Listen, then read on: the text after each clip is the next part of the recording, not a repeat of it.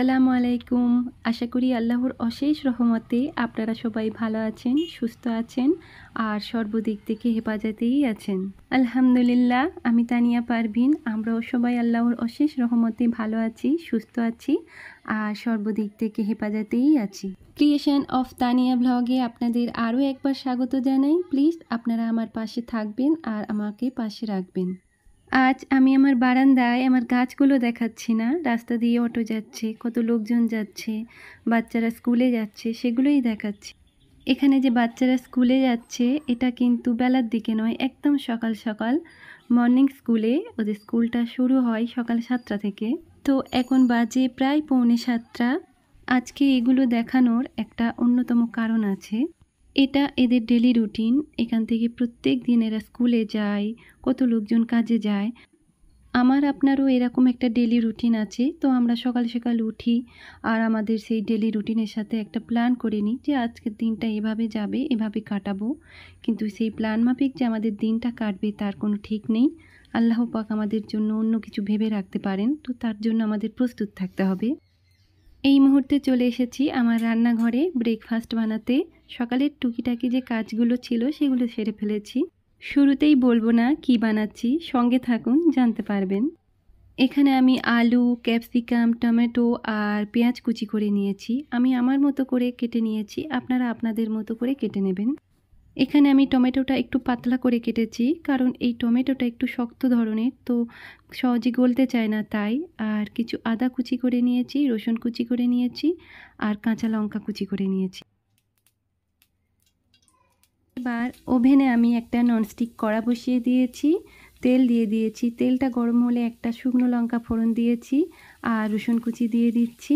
আপনারা আপনাদের প্রয়োজন মতো শুকনো লঙ্কা বাড়িয়ে দিতে পারেন। রসুন কুচিটা দিয়ে ভালো করে নেড়ে এবার আমি আদা কুচি দিয়ে দিচ্ছি। আদা কুচি আর রসুন কুচিটা যখন দেবেন তখন গ্যাসের আঁচটা যেন ফুল থাকে, তবে এটা ভালোভাবে ভাজা হবে আর একটা স্মেল বেরোবে। আর এই স্মেলটা রেসিপিতে একটা আলাদা ফ্লেভার আনবে আর একটা আলাদা টেস্ট আনবে। এবার আমি এখানে কাঁচা লঙ্কা কুচি দিয়ে দিচ্ছি। আপনারা যারা স্পাইসি পছন্দ করেন বা আরও একটু ঝাল খেতে চান, তাহলে কাঁচা লঙ্কার কুচির পরিমাণটা বাড়িয়ে দিতে পারেন। এবার আমি এটাতে পেঁয়াজ কুচি দিয়ে দিচ্ছি। এখানে আমি একটা ছোট্ট ভুল করে ফেলেছি সরি এখানে রসুন কুচি আর আদা কুচি যতক্ষণ না ভালোভাবে ভাজা হয়ে লাল হচ্ছে ততক্ষণ কিছু দেবেন না। তারপরে কাঁচা লঙ্কা কুচি দিয়ে ভালো করে নেড়ে ভাজা ভাজা স্মেল বেরোলে তবেই পেঁয়াজ কুচিটা দেবেন। আমি যেহেতু ভুলে সব দিয়ে ফেলেছি, তো এইভাবেই ভাজা ভাজা করে নেব, খুব একটা অসুবিধা হবে না। তবে বলে রাখি সব কিছু কিন্তু ভালোভাবে ভাজা ভাজা করলে টেস্ট বাড়ে, একটা আলাদা স্মেল আসে, কিন্তু গুণাগুণ চলে যায় সব কিছুর তো এই তো আমার ভাজা ভাজা হয়ে এসেছে, এবার আমি আলু কুচিটা দিয়ে দেব। আলু কুচিটা দিয়ে এটাকেও ভালোভাবে নেড়ে চেড়ে ভাজা ভাজা করে নেব। তবে হ্যাঁ এখানে বলে রাখি, এখানে সব ভাজাগুলিই কিন্তু হাই টু মিডিয়াম আঁচে হবে, কোনোটা লো আঁচে হবে না। যদি দেখেন যে গায়ে লেগে যাচ্ছে, সেক্ষেত্রে আস্তে করে দিয়ে আপনারা ভালোভাবে নেড়ে চেড়ে জিনিসটাকে সাইজ করে নেবেন।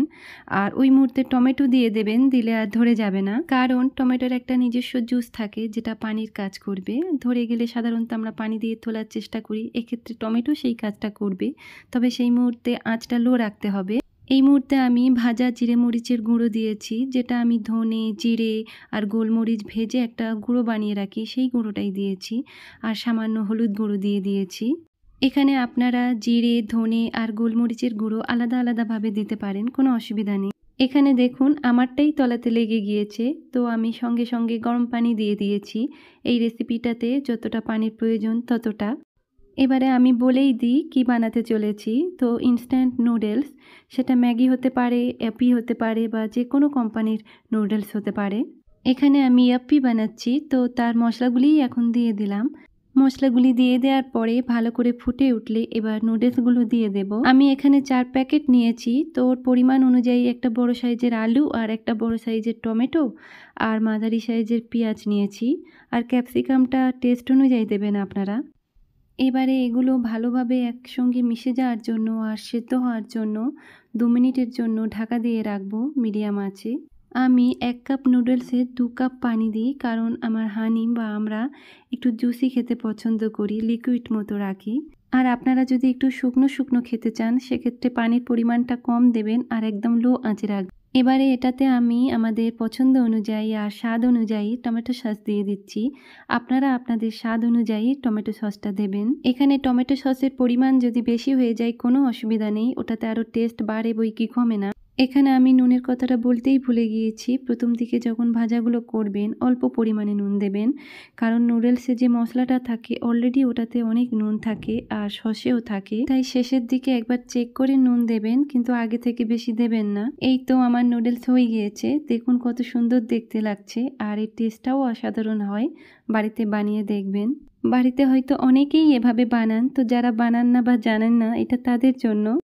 এবার আমরা সকলে মিলে একসাথে নুডলসটা খেয়ে নেব। সকালে ব্রেকফাস্টটা সেরে এগুলি ধুয়ে এখানে রেখে গিয়েছিলাম। আমার সংসারের চারিদিকটা গুড়িয়ে গুছিয়ে নিয়ে, ব্যাগে জামা কাপড় গুছিয়ে নিয়ে আবার চলে এসেছি রান্নাঘরে।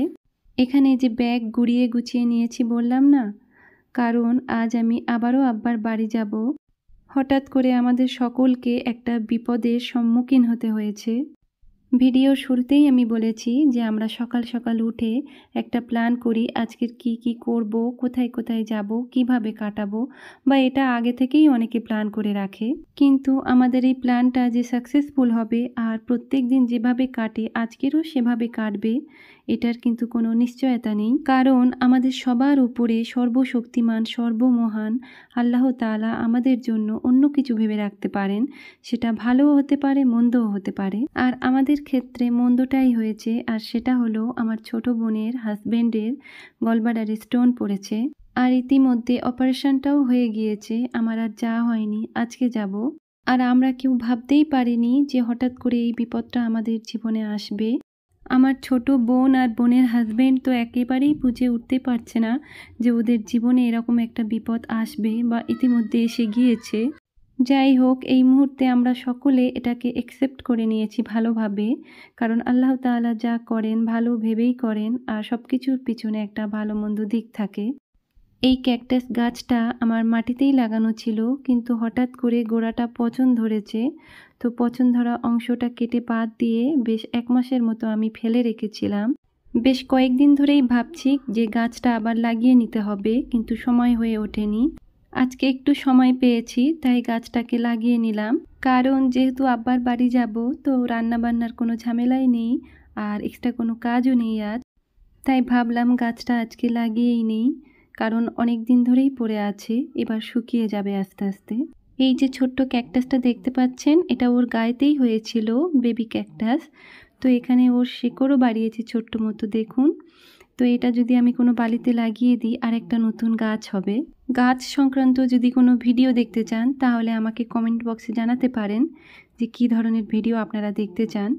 এখানে দেখুন, আমার বাথরুমটার কি অবস্থা। আমি ঠিক গোসল করার আগেই যে সমস্ত গাছগুলিতে বেশ ধুলো পড়েছিল, সেগুলি এনে বাথরুমে ভালো করে সারে ধুয়ে নিয়েছি। এবার যে যার জায়গায় রেখে দেব। এই তো আমি গোসল করে প্রায় রেডি হয়ে নিয়েছি। হানি আর হাসিনকে তো আরও আগেই রেডি করে দিয়েছি। ওরা বাইরেই বসে আছে। আর হ্যাঁ কোথাও বের হবার আগে অবশ্যই করে আপনারা সানস্ক্রিন ইউজ করবেন। এটাতে স্কিন খুব ভালো থাকবে এবং ডার্ক স্পট পড়বে না। গরমকালের রৌদ্র আমাদের গায়ে লাগলে যে ছ্যাঁকা লাগে, সেটা শীতে হয় না। তাই আমরা ভাবি শীতের রৌদ্রটা গায়ে লাগলে কোনো অসুবিধা নেই, আরাম হয়। কিন্তু এটাতে স্কিন একদম পুড়ে যায়, কালো হয়ে যায়। এই তো আমরা বাড়ি থেকে বার হয়ে বাসে উঠে পড়েছি আর আমার আব্বার বাড়ি ডায়মন্ড হারবারের দিকে রওনা দিয়েছি। জানালার পাশে আমার শাশুড়ি মা বসে আছে আর ওনার পাশে আমি হাসিনকে নিয়ে বসে আছি। বাসে উঠেই একটু পরে হাসিনের ঘুম পেয়ে গেছে আর হাসিন ঘুমিয়ে পড়েছে। হানি আর হানির আব্বু বাসের পিছনের সিটে বসে আছে। এই তো আমরা ডায়মন্ডে এসে গিয়েছি। এখানে আমি আপনাদের কাছে একটা ছোট্ট অনুরোধ করছি এখনও পর্যন্ত আমার ভিডিওটা যারা দেখছেন প্লিজ একটা লাইক করবেন। আর আমার ভিডিওটি যদি আপনাদের একটু হলেও ভালো লাগে, তাহলে সাবস্ক্রাইব করবেন। আর যারা অলরেডি সাবস্ক্রাইব করে ফেলেছেন, তাদের জন্য ধন্যবাদ।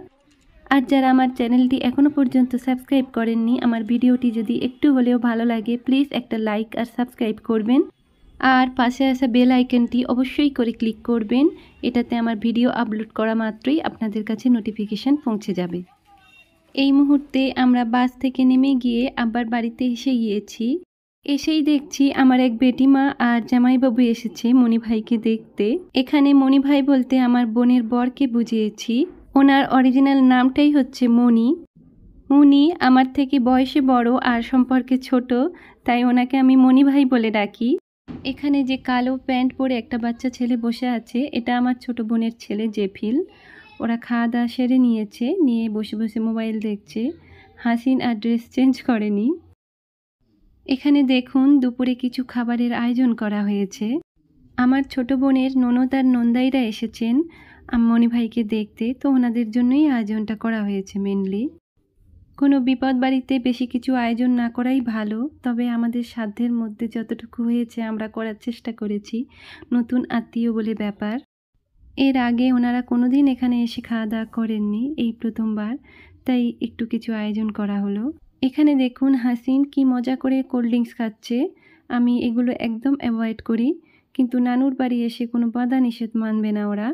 আর এখানে যে বাচ্চা ছেলেটা দেখতে পাচ্ছেন, এর নাম মেহেদি। আমার বোনের ছোট ননদের ছেলে এটা। এরা হাসিন আর মেহেদি দুজনেই সমবয়সী একদম। আর টেবিলে আমার বোনের দুটো নন্দাই বসে খাচ্ছেন। এই মুহূর্তে আমরা খাওয়া দাওয়ার পর্ব অনেক আগেই সেরে ফেলেছি। আর মণিভাইয়ের জন্য একটু কচি ডাব কেটে নিয়ে যাচ্ছি। অসুস্থ মানুষদেরকে তাড়াতাড়ি সুস্থ করতে একটু সেবা যত্নের দরকার হয় আর পরিবেশটা ভালো রাখার প্রয়োজন হয় আর সব সময় আনন্দ দেওয়ার চেষ্টা করতে হয় যাতে তারা তাড়াতাড়ি সুস্থ হয়ে ওঠে। আর আমরা সকলে মিলে সেটা করার চেষ্টা করছি কারণ উনি মানসিক দিক থেকে একদম ভেঙে পড়েছে। ওনার মতে যে আমার একটা কিছু হয়েছে, আমি মেডিসিন নেব বেশ কিছুদিন, সেরে যাব। কিন্তু এই যে পেট কাটার ব্যাপারটা উনি একদমই মেনে নিতে পারছে না, যদিও মাইক্রো সার্জারি করা হয়েছে। হঠাৎ করে ভাইয়ের জন্য ডাবের পানি নিয়ে এসেছি আর সেই ডাব থেকে নিজেই পানি ঢেলে দিয়েছি। ভাই তো দেখে অবাক। আমিও অবাক, কারণ আমি এসব কাজ কোনো দিন করিনি আর পারিও না।